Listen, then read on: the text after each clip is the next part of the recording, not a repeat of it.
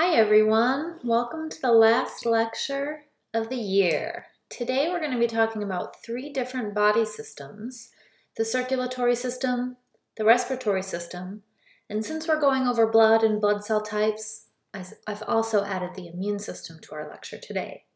The overarching theme of the circulatory and respiratory systems is their shared function in both nutrient and gas exchange. And so we're going to start with the circulatory system. We will um, compare the circulatory system in humans to other types of animals. We'll move on to the immune system and compare that to other animals as well, and then finish with the respiratory system and breathing in both humans and other animals. All right, now the circulatory system is named as such due to its function which is to circulate nutrients and gases.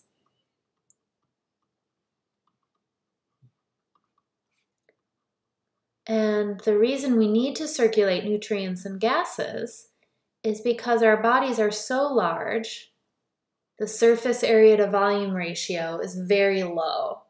And with a very little surface area compared to volume, diffusion is not a good way for nutrients and gases to reach all parts of the human body. So larger animals, remember they have a smaller surface area to volume ratio and therefore they need extra help to circulate nutrients throughout. We do that through a heart and blood vessels. So if we were to name this system by the anatomy of it, we would also call it the cardiovascular system. Cardio for the heart and vascular for the blood vessels. So all cardiovascular or circulatory systems have these two components, whether it's an open or a closed circulatory system. Now, of course, in humans, we have a closed circulatory system with a four-chambered heart, and it's going to be called double circulation because we have one set of blood vessels that goes to, to and from the lungs, and we have one set of blood vessels that goes to and from the rest of the body. So we're going to cover the anatomy of the heart, and talk about the differences between arteries and veins, and then trace the flow of blood throughout the body. So the heart is the muscle that pumps blood. You know that the heart is made up of cardiac muscle. There are three muscle layers in the heart, the endocardium, the myocardium, and I always forget the third one. The, it's not the pericardium. Mm, we're going to forget that for right now. Um, but if you have, for example, my, um, a myocardial infarction, that would be a heart attack or the myocardium layer not working. The endocardium is the innermost muscle layer. And then the pericardium is a, is a tissue layer. It's not made of muscle, but it's a tissue layer that encases or lines the outer surface of the heart. So our four chambers include the right and left atria. In the atria, or atrium for singular, these are going to be the um, parts of the heart that receive the blood. Here we go. So our atria are going to be the parts that receive or fill up with blood.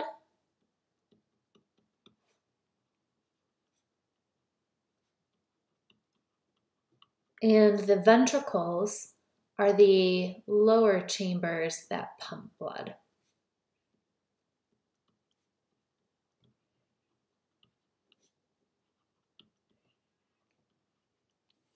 Okay. And there are valves between the atria and the ventricle called atrioventricular valves.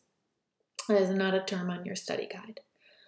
All right, and then we have two types of blood vessels. Our arteries carry blood away from the heart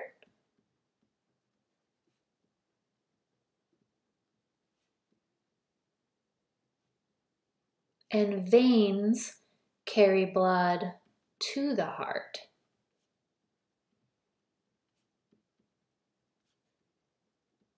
So, in the systemic circuit, or in the circuit that goes to the body, the arteries carry oxygen rich blood and the veins carry oxygen depleted blood.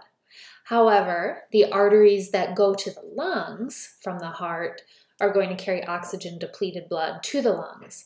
And then the lungs help to aerate the blood, and then we'll have our oxygen rich blood heading back through the veins that go um, back towards the left side of the heart. And so in our pulmonary circuit, we have a pulmonary artery going to the lungs carrying oxygen poor blood, and then the pulmonary veins are the um, only veins in the body that carry that oxygen rich blood, the veins that are coming from the lungs and back to the heart. And the capillaries, these are going to be the very small blood vessels that enter our tissues and are responsible for nutrient and gas exchange with tissues.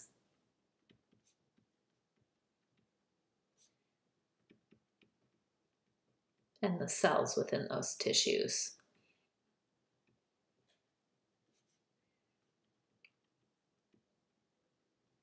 Okay, now as we talk about the direction of blood flow, we're going to trace um, the flow of oxygen poor blood, and we will note the names of the blood vessels um, over arrows.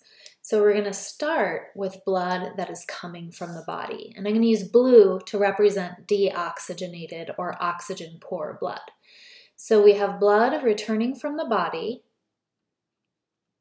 to the right atrium of the heart.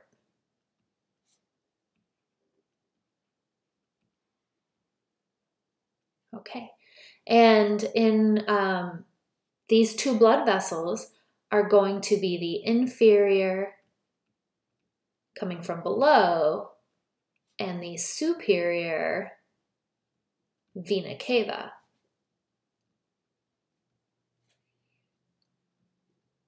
Right, in this diagram right here, um, you see that all of the important names or all of the names of the important um, blood vessels are in red boxes, whereas the um, parts of the heart are starred. All right, so from the right atrium, um, the right atrium receives the blood, it'll pass through the valve, and then it'll go, move into the right ventricle of the heart. From the right ventricle, remember ventricles pump blood, and so it's going to send that blood away from the heart. And so now we're going to be in an artery going away from the heart, but it's going to be the artery, the pulmonary artery, that takes the blood to the lungs. Pulmonary so, one of the only arteries that carries oxygen poor blood. There are two pulmonary arteries, um, one extending to each lung. All right, so now the blood enters the lung capillaries. And I'm going to switch now to red for oxygen rich blood. All right, so we breathe in and as we hold our breath, diffusion um, of the gases goes from a high to a low con- oxygen concentration.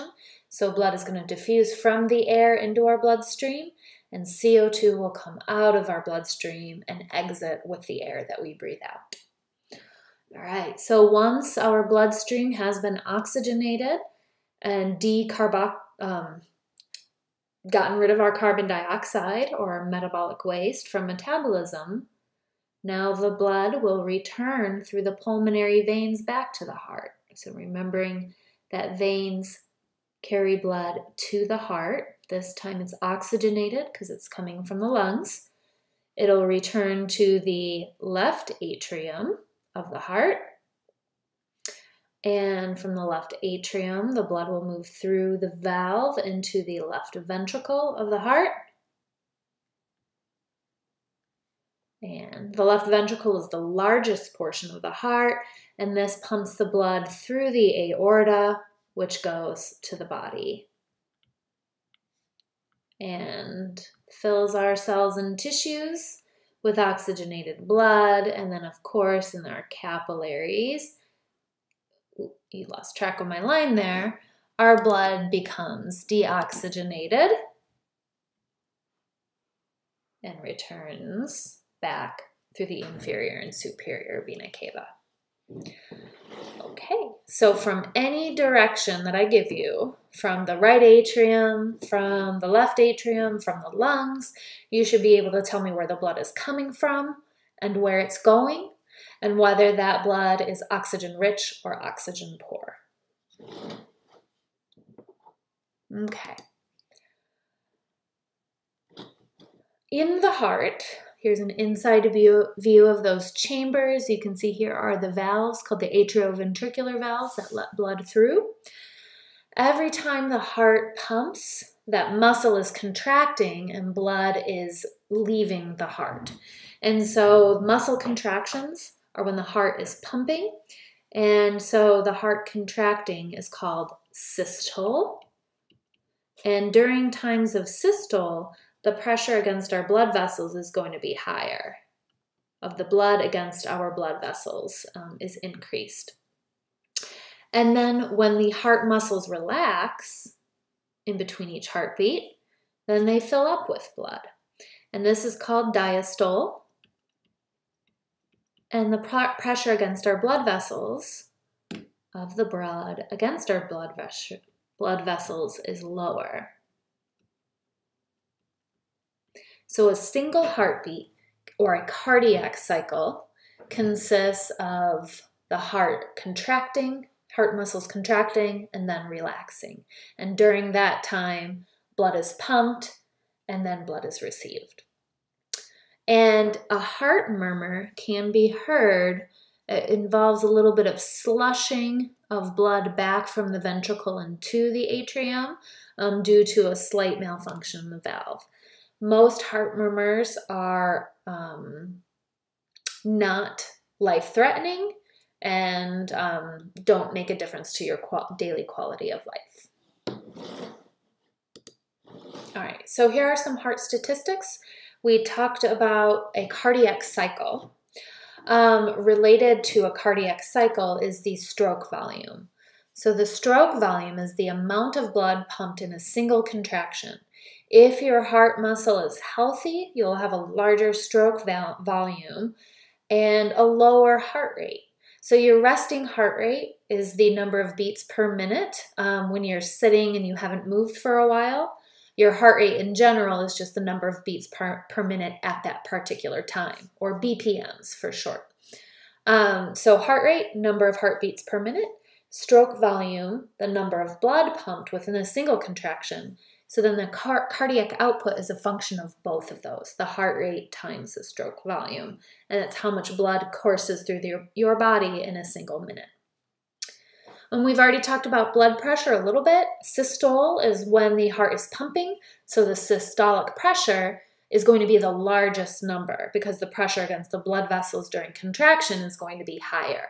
So when you get your blood pressure read, um, it might be something like 110 over 70. Um, that would be a normal blood pressure. Um, and so um, the diastolic pressure will be much lower because that is when your heart muscles are relaxing and there's less pressure of blood against your blood vessels. All right, so we have we've covered the heart, we've covered the blood vessels, and now we're going to talk about the blood itself. So blood is made up of plasma, which is the water soluble portion, the water and the water soluble components. And then the cells. There are three types, general types of red blood cells. All right. All blood cells start out as the same type of stem cell. So in our bone marrow, we produce blood stem cells. And from those stem cells, they differentiate into a number of different types of blood cells. So, bone marrow is where the production of new blood cells occurs. Um, and those stem cells are the newly formed blood cells in the bone marrow, but then they will then differentiate into different types. The three basic types are the red blood cells, which are called erythrocytes, erythro for red, and the function of red blood cells is to carry oxygen so within each red blood cell, the major protein is called hemoglobin. and hemoglobin is the oxygen binding protein. We learned a lot about this protein throughout the semester. We learned that it has multiple polypeptide subunits, and that in the center of these subunits, we have a heme group that holds iron. So iron is a cofactor. And that iron is what binds molecularly. Oops, not bings, binds oxygen. All right. So oxygen is a nonpolar gas. It's not very soluble in water. So we have this oxygen binding protein to help us get more oxygen into the body. We have our white blood cells. White blood cells are called leukocytes. Um, so um, our white blood cells, their general job is immunity, or they are the cells of the immune system. We're going to learn about a lot of these in the next portion of this lecture. So we'll have many different types of leukocytes. And then our thrombocytes is um, from uh, are the platelets, and these are involved in clotting. So make sure you can match the names of the white blood cells to their common names as well as to their functions. Let's talk a little bit more about the water-soluble portion of the blood. So here's the blood right here. The hematocrit is the um, total cellular proportion.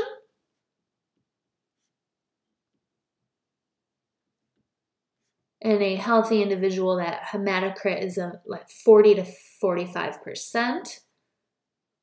Um, and in the upper portion, we have the plasma, which contains water and all of the water soluble substances.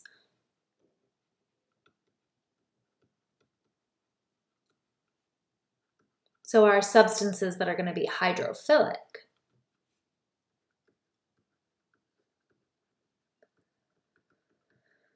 All right, so that includes ions and polar molecules.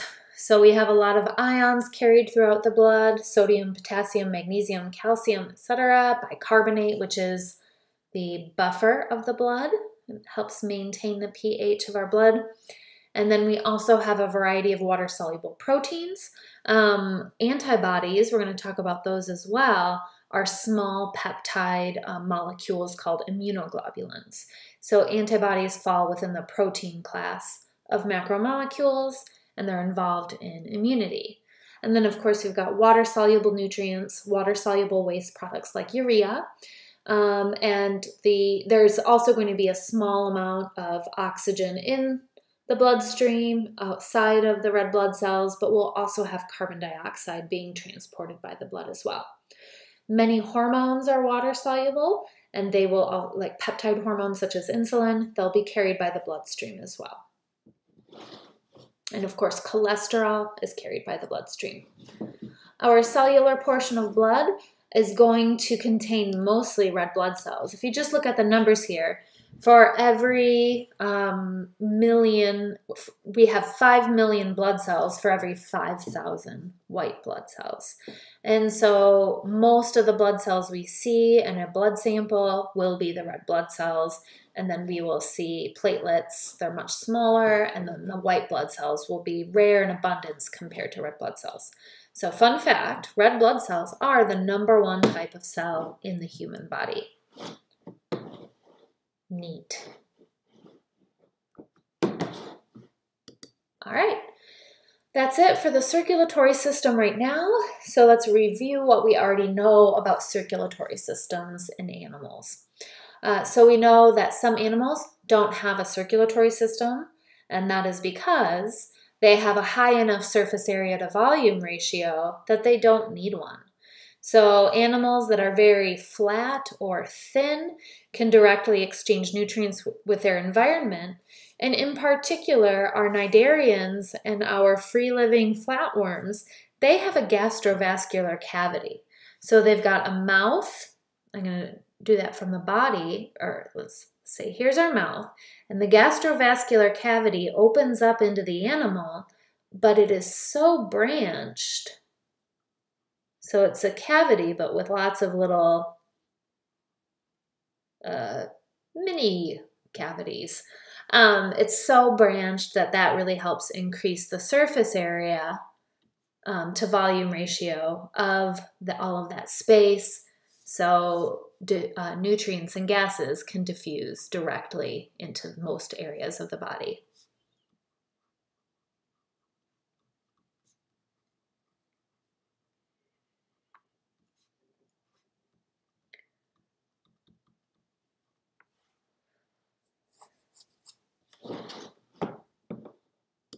All right, and then for animals that do have a circulatory system, we learned about animal phyla that had a closed circulatory system versus the animal phyla that had open circulatory systems.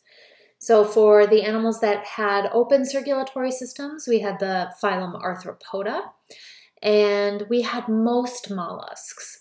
So the gastropods, the chitons, and the bivalves have an open circulatory system.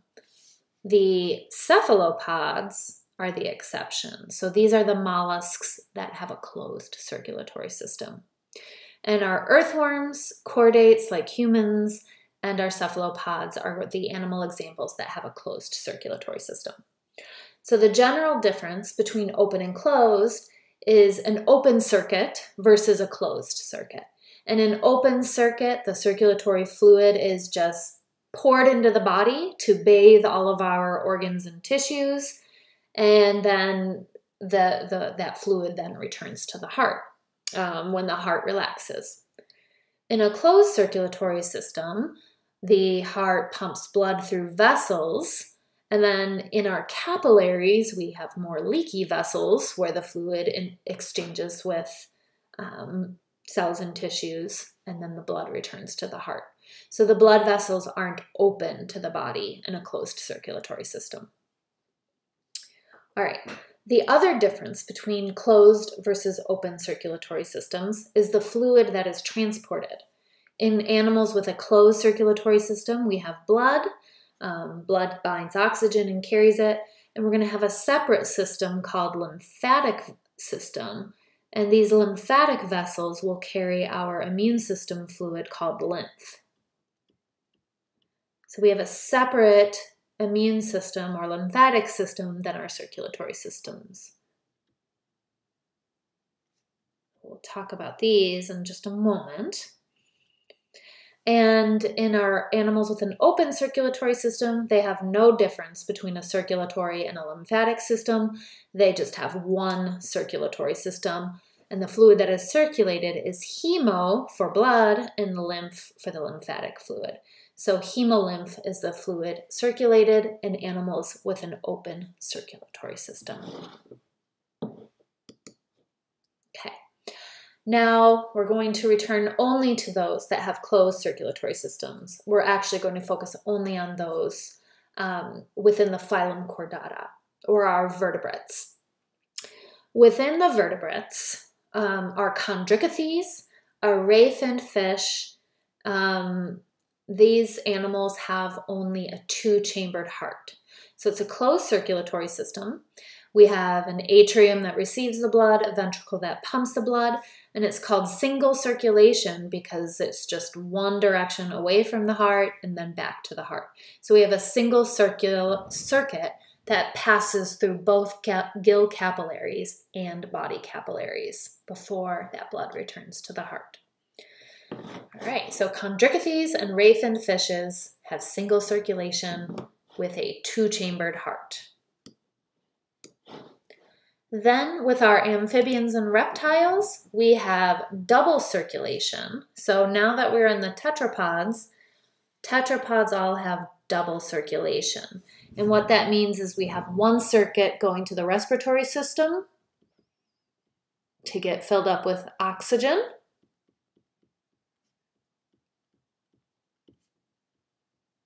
And then the other circuit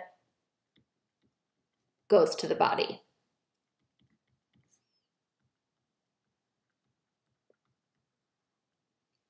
Okay. The circuit that goes to the respiratory tract is usually oxygen poor, but then returns to the heart oxygen rich.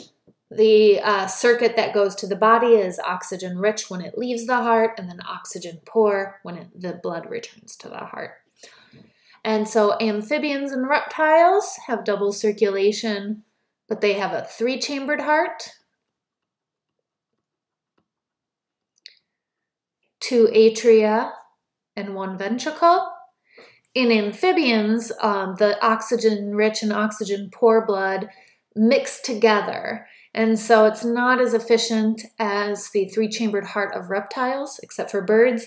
There's a septum which prevents um, full mixing of the oxygen rich and the oxygen poor blood. But the septum doesn't go all the way through, uh, so the um, hearts of both amphibians and reptiles, except the birds, are considered a three chambered heart. Birds, which are reptiles, our endothermic uh, reptiles, and mammals have a fully separated four chambered heart with one side of the heart going to the pulmonary circuit and the other side of the heart going to the systemic circuit. Systemic means to the body. All right, another, so the pulmonary circuit is going to be the one that goes to the lungs, to and from the lungs. The systemic circuit is the one that goes to and from the body.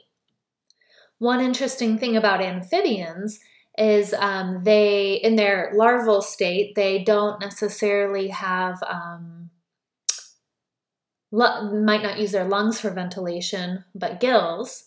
Um, and then adults have lungs, but they can also breathe through their skin. So the capillaries that go into the skin are also part of the pulmonary circuit. And because it's part of the skin, it's called the pulmocutaneous circuit. So this is a circuit that goes to both lung and skin capillaries. All right, we are going to switch and talk about the immune system now because the immune system involves the white blood cells. Immunology is the study of the immune system or the system of body defenses that protect us against infection. In general, we have um, different types of um, body defenses. We have barrier defenses like our skin and the acidity of our stomach, things that help pathogens get keep from getting into the body. Then we have other types of innate immune responses that involve things like fever and inflammation.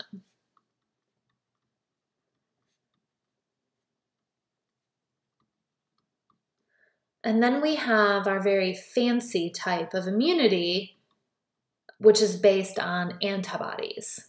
And so we call this an acquired or an adaptive immunity.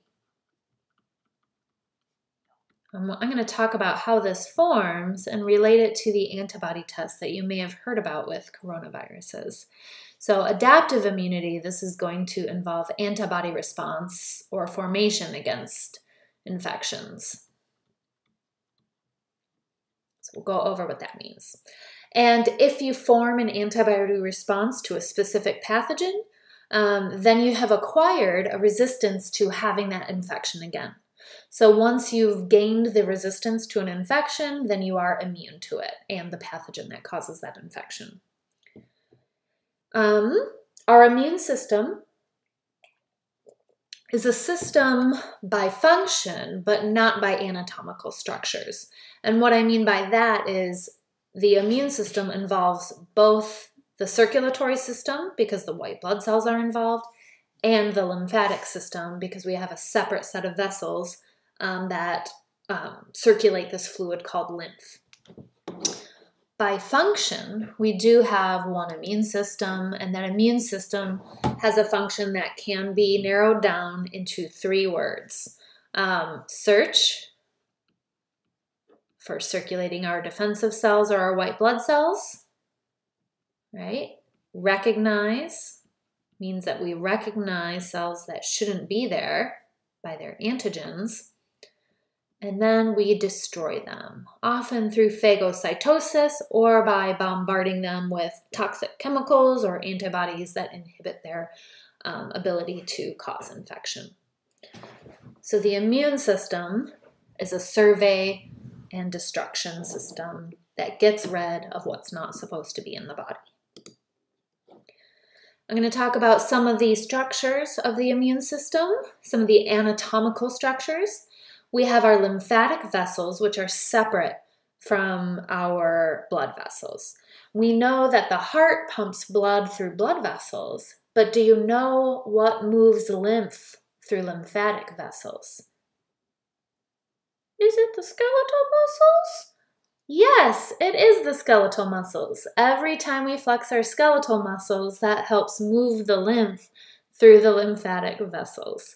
Um, so when, if you're sick, um, you want to make sure you maintain good circulation. Keeping your feet up is one way to circulate lymphatic fluid, but also moving. Moving um, moderately helps to move that lymphatic fluid, fluid throughout the body. All right. Um, and then while the lymphatic fluid returns sterile to the heart or to our bloodstream, right where the um, inferior and superior vena cava come together, that is where the lymphatic fluid returns to our um, circulatory system, right before the fluid enters the right atrium of the heart.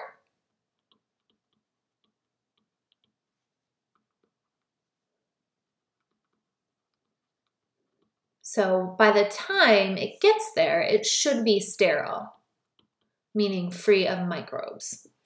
And the reason it's sterile is because the fluid passes a number of tissues and nodes that filter out, separate, and digest any foreign pathogens or other foreign materials. So, lymph nodes are clusters of lymphatic tissues, um, oftentimes near openings. So, we've got um, lymph nodes in our neck region, um, under our arms, and also um, in our groins. There's a lot of um, lymphatic tissue associated with our gastrointestinal tract. We call that GALT for gastrointestinal associated lymphatic tissue. Then MALT stands for mucosa associated lymphatic tissue. SALT stands for skin associated with lymphatic tissue. So all of the alts are lymphatic tissues.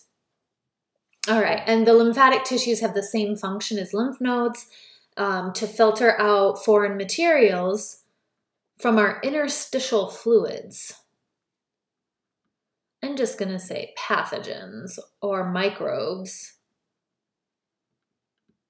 So, interstitial fluids are the fluids that are just in our body cavities, in between organs, interstitial fluids. And now we have the spleen. In uh, the rat dissection, right? So let's say like here's the rat. I don't know why I just drew the rat with a beak. That's supposed to be its mouth. And then here's the body of the rat its arms. And here's the abdominal cavity. And it's got its legs. All right, and when you open it up, the stomach's right here. Here's the esophagus leading down to the stomach. The spleen is an organ um, to the just to the left of the stomach or to the right if you're looking at it this way. Um, and the spleen is not associated with the GI tract, even though it's adjacent to it. The spleen is actually an immune organ and it receives blood every day and it um, filters out any foreign material that might be found in the blood. So, for example, if you have a viral infection, um, there might be viruses in your bloodstream, and your spleen would filter that out. If you um, have an inflamed or swollen spleen that could be caused by viruses that are not, uh, oops, undo.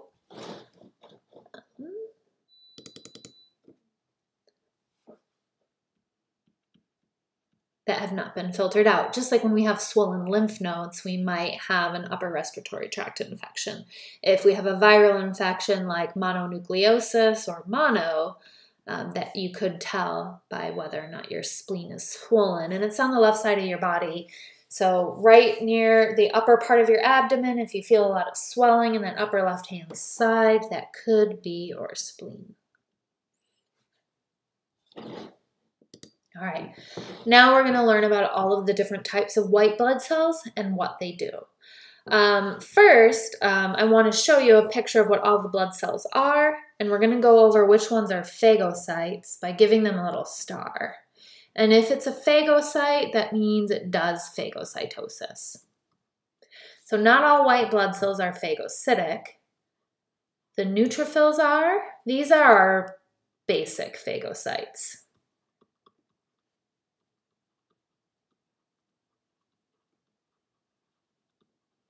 Nothing real special about them. They just travel around eating up stuff.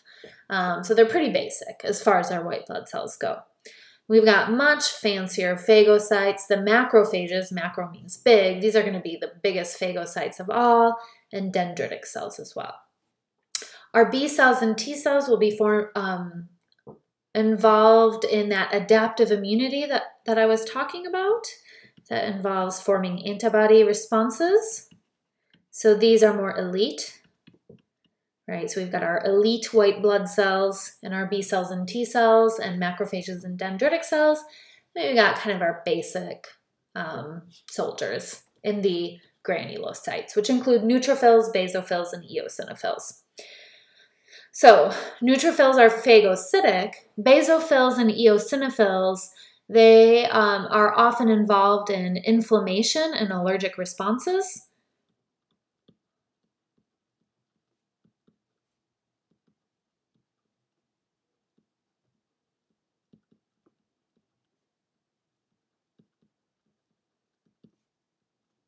And also just the eosinophils.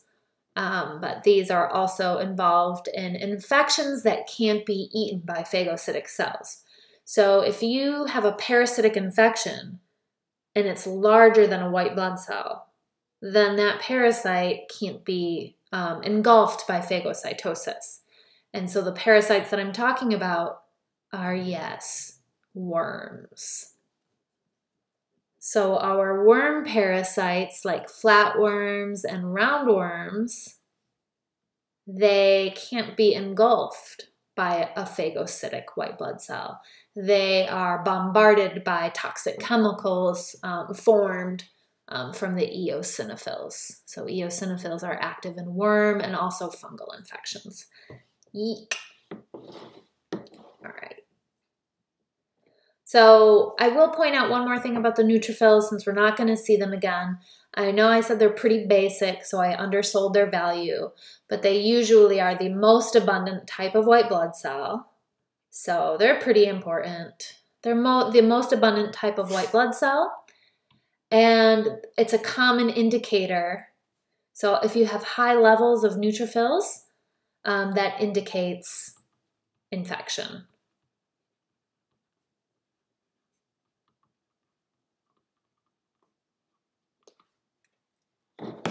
All right, let's talk more about this adaptive immunity, especially the formation of antibodies.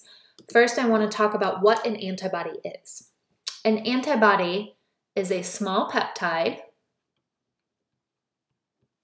It's an immune molecule. And what it does is it'll bind to an antigen molecule on foreign cell surfaces. So these foreign cells could be bacteria, um, or they could be toxins.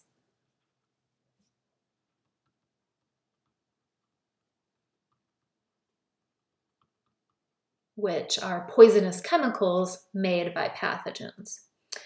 All right, so the antibodies are the ones that are shown in this Y-shaped region. And how do antibodies help with immunity? They can do several things. One thing an antibody does is it when it binds to the cell, it signals to a phagocyte or to our white blood cell, like, oh, I did it again. Um, it signals to a white blood cell, like a macrophage, hey, come here and eat me.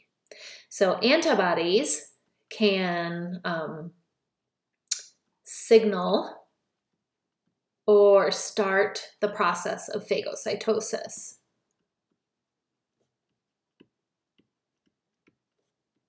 That's what this opsonization is, the coating of a cell with a substance so that a white blood cell can come in, attach to that substance, and then engulf whatever is in between it.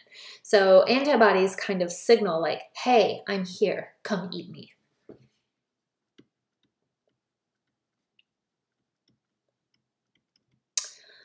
All right, antibodies also work uh, by attaching to the microbe and therefore preventing their movement. So, um, and if a microbe can't attach or move, it's not very good at causing infection. So, antibodies can kind of slow down pathogens and prevent them from adhering to our own tissues. And then they can also neutralize a virus, which means that if a virus is um, bombarded with antibodies, it can't infect host cells.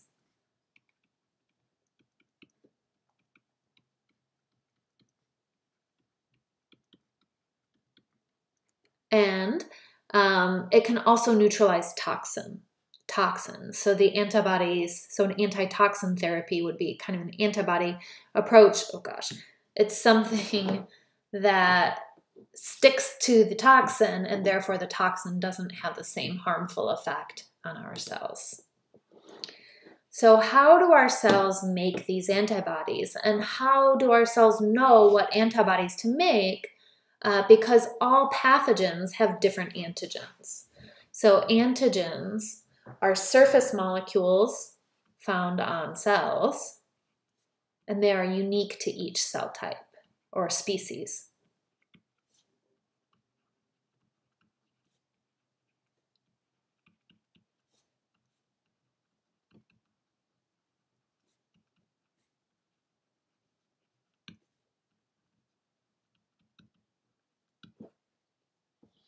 All right. So I have this cartoon um, that came from a Nobel Prize site for education um, that describes how this antibody response forms.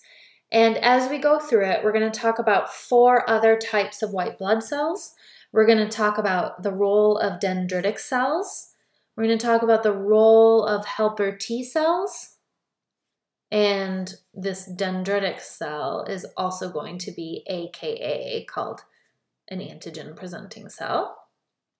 And then we're also going to talk about B cells and macrophages. So let's start with a dendritic cell. A dendritic cell is a type of phagocyte. So here's our dendritic cell, and it's doing phagocytosis by eating a bacterium. So it's like, I'm going to eat you. This right here is the antigen on that bacterium surface. When the phagocyte engulfs the microbe, it digests it into small pieces. When it does that, it takes the antigen and incorporates it on its own cell surface. So it is taking that antigen and presenting it to another white blood cell by um, holding it on the outside of its little cell body or surface. So, because the dendritic cell presents the antigen to another white blood cell, it's called an antigen presenting cell. Antigen presenting cells can be dendritic cells. They can also sometimes be macrophages. To keep it simple, though, we're just going to um, go with the dendritic cell here. So dendritic cells are our antigen presenting cells, and they eat pathogens and give their antigens to a helper T cell by a direct interaction between um, the dendritic cell and the helper T cell. So, helper T cells are one of two types of T cells. What they do is they release a lot of chemicals called cytokines. they release a lot of signaling molecules, and these signaling molecules will activate our B cells. So, helper T cells are activated by the antigen presenting cells. Then they start producing a number of signaling molecules, which triggers the B cells into start doing what they do, which will be antibody production. All right, so now we have our third type of blood cell, the B cells. When they are activated, because they have gotten those cytokine signals from the helper T cells, they then differentiate into two types of cells. The plasma cells make a bunch of antibodies, and then they also form antibodies specific for the antigen um, that was delivered by the antigen presenting cell. So they they find a good match and then they just make a whole bunch more of these antibodies. And now all of the antibodies they make are specific to the antigen that was originally presented by the antigen presenting cell.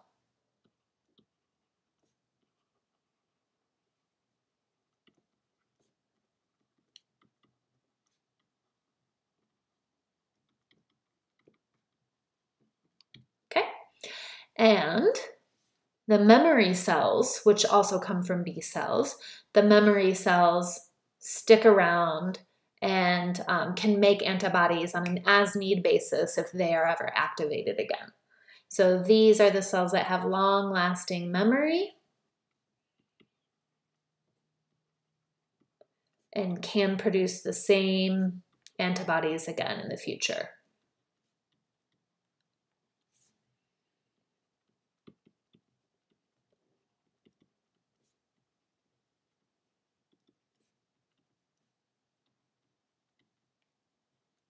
All right. So the B cells then are the ones that make antibodies for the pathogens. Once the antibodies are stuck to the pathogen, then that signals the destruction of that pathogen by macrophages. So macrophages are our fourth type of blood cell, and the macrophages right here, they're called the eater cells. They are going to engulf and digest, which is phagocytosis, they're going to engulf and digest these antibody marked pathogens.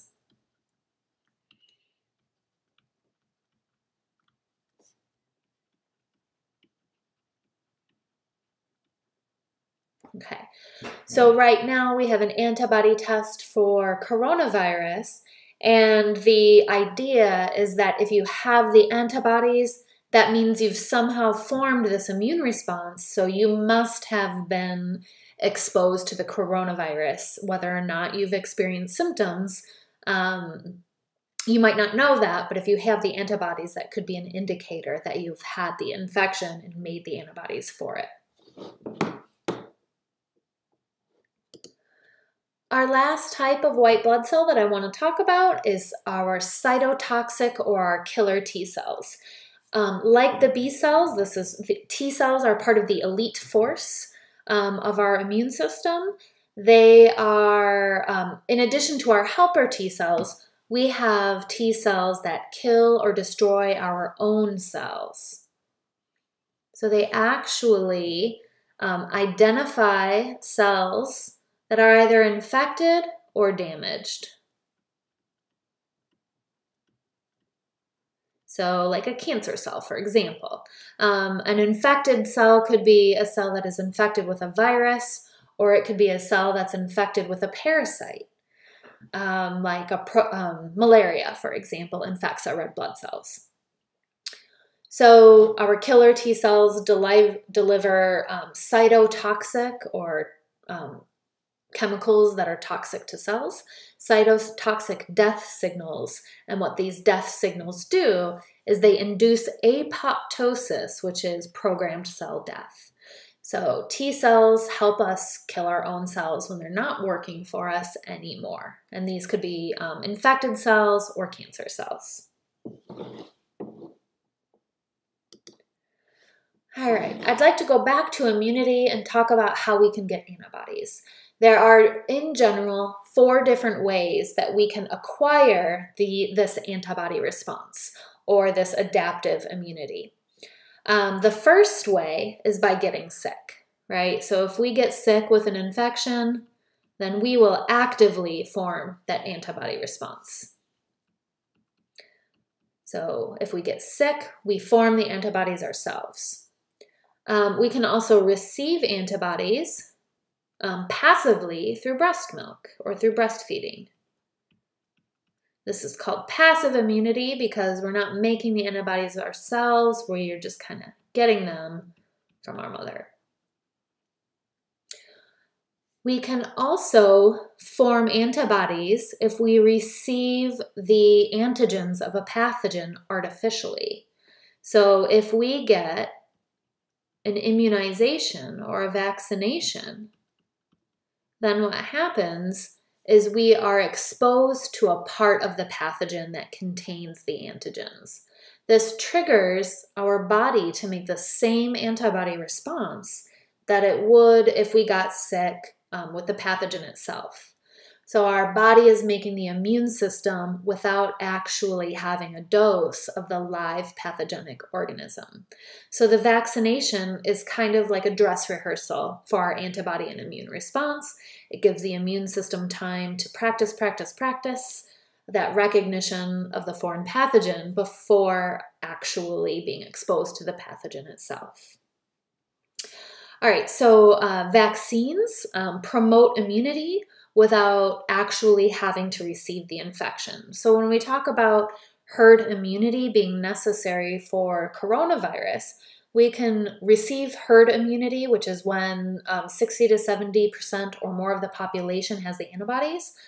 And um, this herd immunity can be received by either vaccinating or by millions and millions and millions of people getting sick and also hundreds of thousands dying.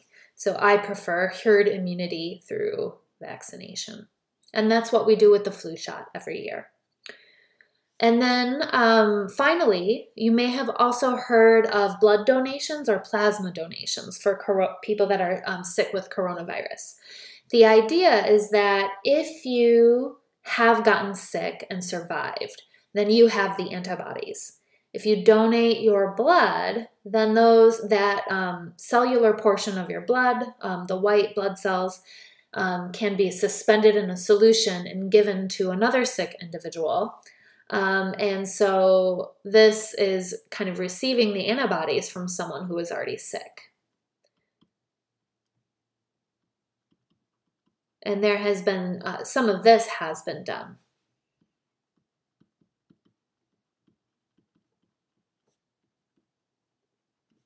And that is called a serum.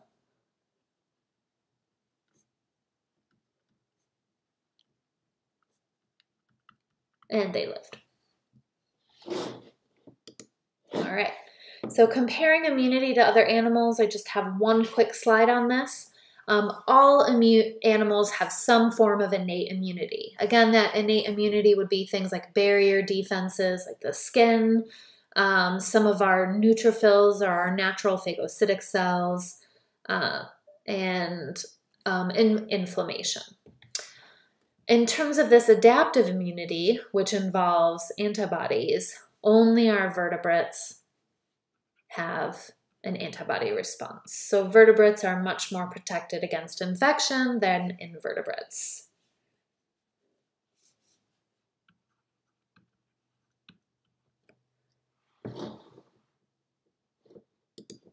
All right, we're finally on to the respiratory tract now.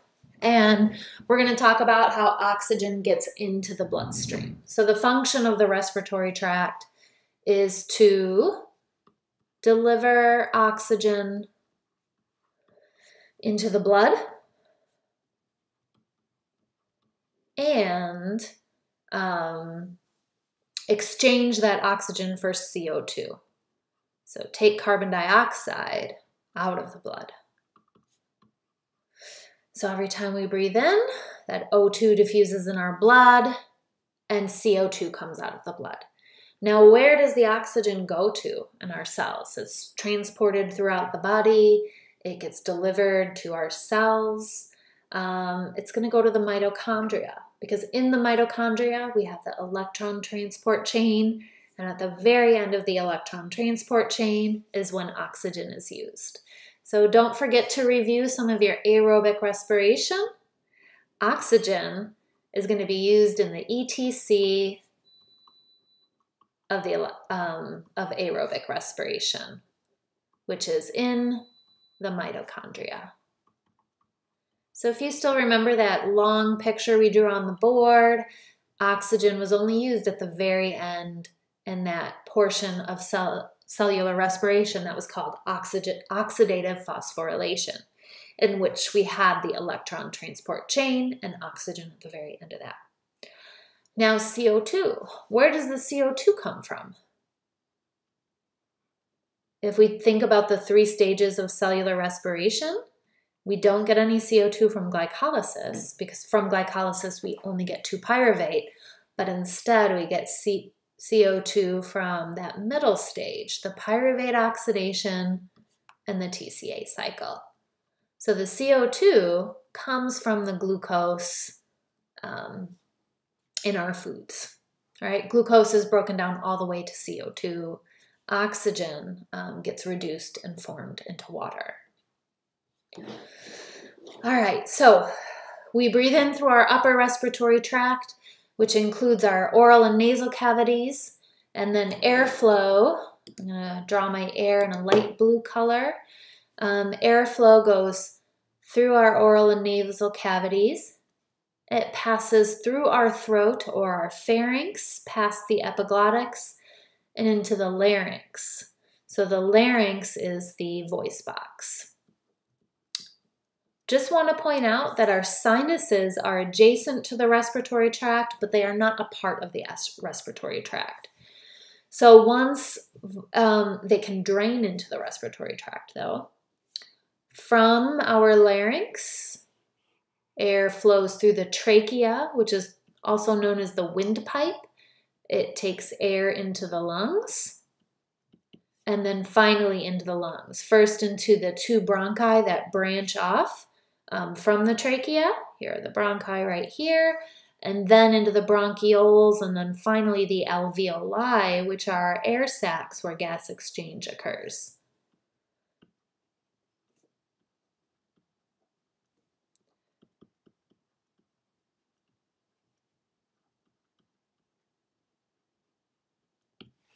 All right, and then when we breathe out, the air just kind of goes out the same way that it came in.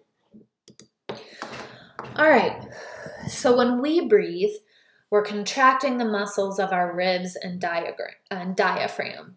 When those muscles contract, it creates a negative pressure or almost a vacuum that pulls air into the lungs. So um, we ventilate our lungs by this negative pressure breathing. The muscle contractions of the ribs and diaphragm cause that negative pressure, and then that pulls air in. When the muscles relax, then the air can go out. All right, and here are the alveoli. You see the blood vessels lining it. And so fun fact, what type? The, these blood vessels right here are lined with epithelial tissue that are thin and flat to allow for maximum diffusion um, of gases. And that the tissue that lines the capillaries of our, our lung capillaries is called our simple squamous epithelium. The thin, flat cells that allow for maximum gas exchange, or epithelial tissue. That is it on breathing in humans. The respiratory tract has a very simple job, gas exchange, the circulatory system is what transports that oxygen throughout the body. The respiratory tract just has to get that oxygen into the bloodstream. We had mentioned in Unit 4 that birds had a very efficient respiratory system, and this allowed them to get very oxygen rich blood to maximize the amount of ATP that's needed for flight. So, I want to point out how that respiratory tract is different than the one we just talked about. Briefly, they have air sacs that store air with every inhalation. So when birds inhale, the air flows um, into, sorry, into the post posterior air sac from, from the outside of the body, and then from the lungs into an anterior air sac. And then when birds exhale, the air leaves the anterior air sac and out the body, but also enters the lungs from the posterior air sac. So, two fun facts. What this does is it allows for airflow in a single direction through the lungs, lowering the amount of um, mixing of ox- um, oxygen rich air and oxygen poor air. So um, we've got single flow of air through the lungs and very little mixing with CO2 rich air in the lungs. What I also find really interesting is that the lungs fill up during exhalation and air leaves the lungs during inhalation. I thought that's an interesting difference uh, between humans and birds. In other animals, uh, remember that in the same animals that don't have a circulatory system, they also don't have a respiratory tract for the same reason, because gas exchange can occur via diffusion if the surface area to volume ratio is high enough. And animals that don't have a circulatory or respiratory tract include the porifera, the ctenophora and cnidaria, and the platyhelminthes. Also, I believe the nematoda. Uh, for animals that do have a respiratory tract, all of our aquatic invert- invertebrates um, will have some sort of, uh, and vertebrates will have some form of gills. Um, so we see gills not just in fish with their pharyngeal slits, but also in annelids. Remember that the um, ocean or marine annelids were called polychaetes, and they have gills on all of their parapodia. Um, so the parapodia have all the chaetae, but they also um, function as a gill. Um, we've seen the gills in the uh, dissection of the crayfish. They're very feathery looking. On sea stars, um, the gills are um, on the on the top surface of the sea star opposite the tube feet, which um, face below or ventral. So on the dorsal end of the starfish, we have the gills um, mixed in with the spines on the surface of the sea stars or the echinoderms. And then um, in the clams, for example, um, clams are, are bivalves we saw in the um, clam dissection that um, mollusks have gills as well. All right, another fun fact um, about animals that have an open circulatory system. So arthropods and then the mollusks, except the cephalopods, they have an open circulatory system and they also use a different oxygen binding protein.